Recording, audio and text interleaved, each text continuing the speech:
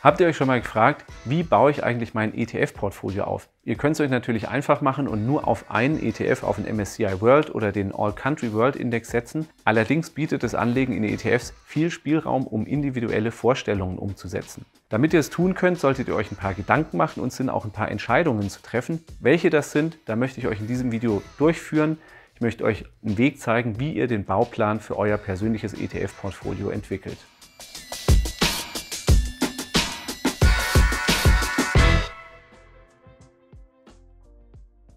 Wie baue ich mir aus mehreren ETFs ein Portfolio zusammen? Vorneweg, alles, was ich jetzt sage, ist keine Anlageberatung, keine Empfehlung zum Kauf.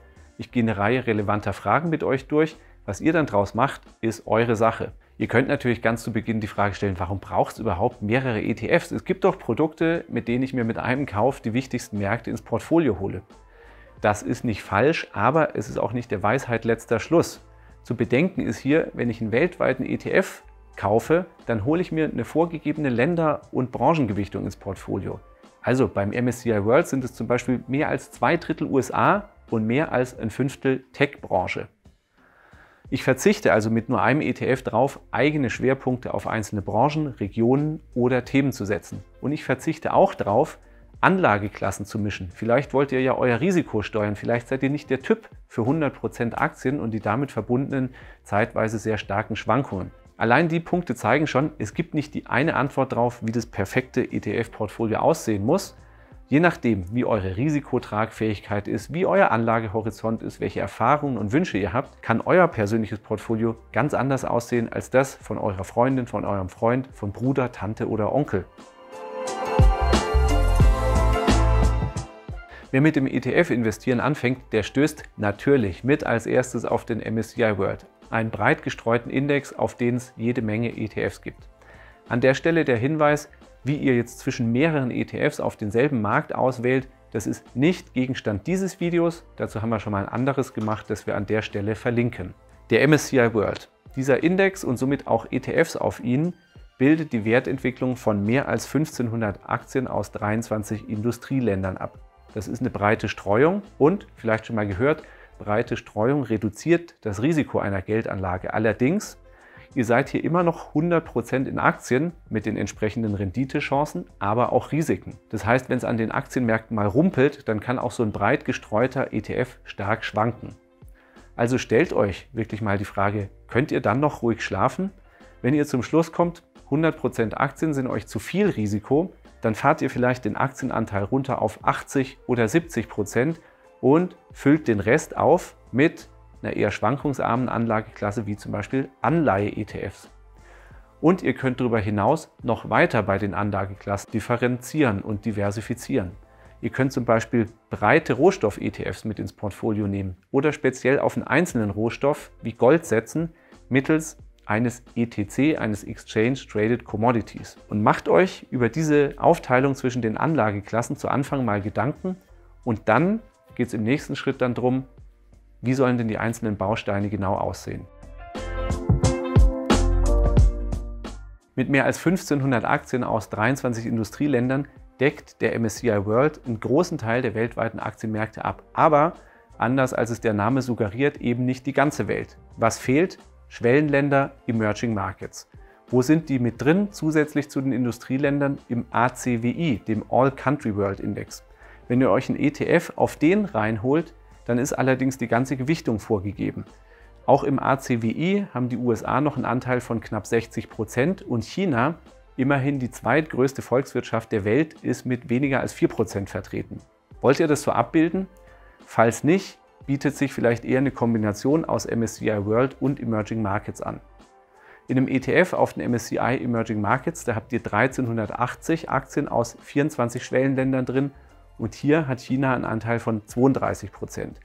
Und indem ihr Emerging Markets und MSCI World kombiniert, könnt ihr nach euren Wünschen das Verhältnis zwischen Schwellenländeraktien und Industrieländeraktien austarieren. Vielleicht wollt ihr ja die Schwellenländer höher gewichten, weil ihr sagt, ich sehe hier starkes Potenzial. Angenommen, ihr habt jetzt ein Portfolio, in dem ihr mit MSCI World und Emerging Markets oder All Country World Index schon breit gestreut weltweit in Aktien investiert. Vielleicht sagt ihr, oh, das ist mir zu simpel, zu langweilig, ich will Schwerpunkte anders setzen. dann könnt ihr das mit spezielleren Aktien-ETFs natürlich tun. Ganz typisch gibt es die auf Regionen oder Länder, auf einzelne Branchen und auf Themen und Trends. Was bringt sowas? Ihr fügt eurem Portfolio somit Elemente zu, durch die ihr von der vorgegebenen Gewichtung in weltweiten Aktien-ETFs abweicht. Und die richtet sich in aller Regel nach dem Börsenwert der einzelnen Unternehmen. Ihr könnt zum Beispiel der Meinung sein, Europa ist in meinem Portfolio im MSCI World untergewichtet, also mischt ihr vielleicht einen ETF auf europäische Aktien bei. Ihr könnt der Meinung sein, Gesundheit ist im MSCI World gegenüber Tech untergewichtet, dann nehmt ihr euch vielleicht zusätzlich noch einen Healthcare ETF mit rein. Ihr könnt auch der Meinung sein, hm, so ein Thema wie Urbanisierung, das wird auch an der Börse eine Riesenrolle spielen. Dann fällt eure Wahl vielleicht auf einen ETF zu einem Thema wie Smart Cities. Und da gibt es noch viele andere Trendthemen. Das bietet individuellen Gestaltungsspielraum und unter Umständen auch eine Renditechance. Wenn ihr glaubt, dass ein Sektor, ein Thema, eine Region mehr Rendite liefert als der ganz breite Aktienmarkt, dann bietet sich so ein Investment vielleicht an. Klar sein muss euch nur, das ist eine gewisse Wette und die muss nicht aufgehen. Achtet auf jeden Fall bei so Beimischungen darauf, dass ihr nicht ungewollt Klumpenrisiken entstehen lasst durch einen zu starken, von euch gar nicht beabsichtigten Fokus auf eine bestimmte Region oder Branche. Anleihen sind ein etablierter Baustein, um in ein Aktienportfolio etwas Ruhe zu bringen. Wer nicht 100% in Aktien gehen will, der kann durch Anleihe-ETFs auffüllen. Die sind typischerweise schwankungsärmer. Zugegeben, auf den ersten Blick ist es nicht ganz einfach, Anleihemärkte und Anleihe-ETFs zu verstehen. Zum einen gibt es Unternehmens- und zum anderen Staatsanleihen. Und ETFs decken typischerweise oft sogenannte Laufzeitenbänder ab. Da gibt es dann zum Beispiel ETFs auf US-Staatsanleihen mit einem bis drei oder sieben bis zehn Jahren Restlaufzeit. Wenn ihr es eher schlank und einfach haben wollt, dann gibt es auch sehr breite ETFs auf zum Beispiel den Bloomberg Global Aggregate Bond Index. Alternativ setzt ihr eben auf einzelne Regionen oder nach individueller Gewichtung auf Firmen- und Staatsanleihen. Wenn Schwerpunkt eures Portfolios aber Aktien-ETFs sind, vielleicht wollt ihr es dann bei den Anleihen ganz einfach halten und sehr breit über einen ETF investieren, dann habt ihr später in der Portfoliopflege hier an der Stelle auch weniger Aufwand. Zu Aktien und Anleihen möchtet ihr vielleicht noch weitere Anlageklassen in euer Portfolio mischen. Fangen wir mal an mit Gold. Gold ist einer der ältesten Wertspeicher der Menschheit. Wenn die Aktienkurse sinken, dann ist in der Vergangenheit in vielen Fällen der Goldkurs gestiegen. Zudem verbinden viele mit Gold die Erwartung, dass es sie ein Stück weit vor Inflation schützt. Gold lässt sich in ein ETF-Portfolio als sogenannter ETC, Exchange Traded Commodity, integrieren. Das ist kein ETF, aber es ist ein Finanzprodukt, das so handelbar ist wie ETFs und sich eben hier integrieren lässt. Ihr braucht keinen Tresor, in dem ihr Barren lagert, sondern ihr kauft es wie ETFs und mischt es hinzu. Weitere Rohstoffe, zum Beispiel Industriemetalle bis hin zu landwirtschaftlichen Gütern wie Getreide, die könnt ihr in Rohstoff-ETFs auf breite Rohstoffkörbe ins Portfolio mischen. Hier setzt ihr dann auf die Wertentwicklung einer breiten Mischung von Rohstoffen. Zusammengefasst, ihr habt einen großen Spielraum, wie ihr neben Aktien und gegebenenfalls Anleihen weitere Anlageklassen integriert und euer Portfolio diversifiziert, welche Gewichtung die jetzt untereinander habt. Auch da gibt es nicht die eine Antwort für alle, sondern das könnt ihr individuell festlegen. Ihr habt euch mit der Frage beschäftigt, was sind die Bestandteile meines ETF-Portfolios und welches Gewicht haben sie jeweils. Wenn ihr die Entscheidung getroffen habt, dann setzt ihr das Portfolio zusammen, entweder durch Einmaleinzahlungen oder durch Sparpläne auf die einzelnen Bausteine oder durch eine Kombination aus beidem. Wenn man das einmal gemacht hat, ist man allerdings noch nicht fertig. So ein Portfolio braucht Pflege, denn durch eine unterschiedliche Wertentwicklung der einzelnen Bausteine können sich ja die von euch anfangs gewählten Gewichte verschieben. Und dann wird ein sogenanntes Rebalancing notwendig. Was heißt es?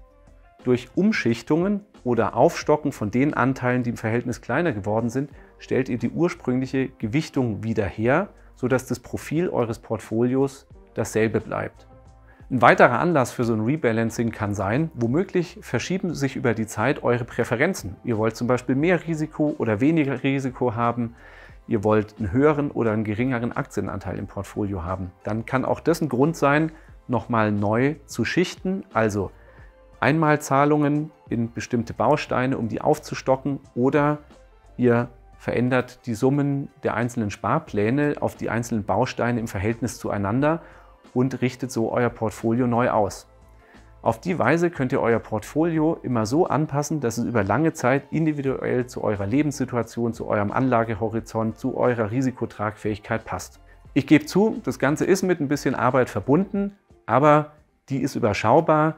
Ihr könnt euch zum Beispiel einmal im Jahr einen Kalendereintrag setzen und dann euch einen Nachmittag nehmen und euer Portfolio rebalancen. Ich wünsche auf jeden Fall viel Erfolg dabei beim Aufbau und bei der Pflege des ETF-Portfolios. Und uns interessiert, wie sieht denn euer Portfolio, eure Gewichtung, eure Zusammensetzung aus? Schreibt es uns mal unten in die Kommentare.